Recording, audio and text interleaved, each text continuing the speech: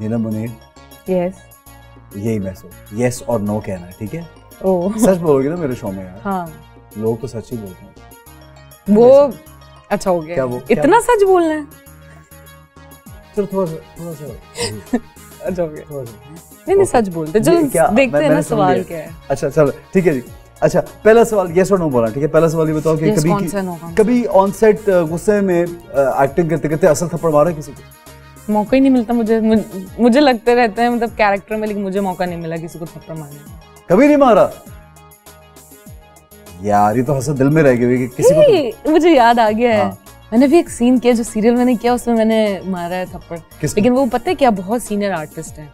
और उनको पता है मैंने कैसे कैसे किया है। I want to do with हाँ। यू बेशक आप बैठे हाँ, रहो मैं बड़े गुस्से में उसमें आती हूँ राइट और वो बहुत सीनियर है ना तो मुझे था भी कि नहीं मतलब इस तरह से नहीं करना। और कभी कभार डायरेक्टर भी नहीं समझते ना बात को नहीं नहीं यार तो बिल्कुल रियल सिचुएशन करना पड़ेगा। तो मैंने पता क्या किया?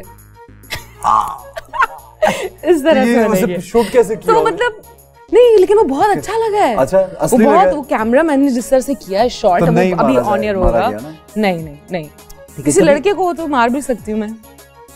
ठीक है।